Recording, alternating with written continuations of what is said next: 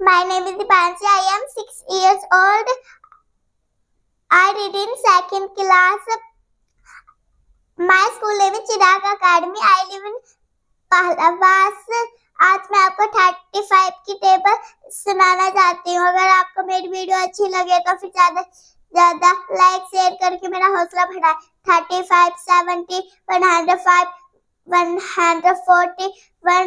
five one hundred forty one hundred seventy five two hundred ten two hundred forty five two hundred eighty three hundred fifteen three hundred fifty धन्यवाद।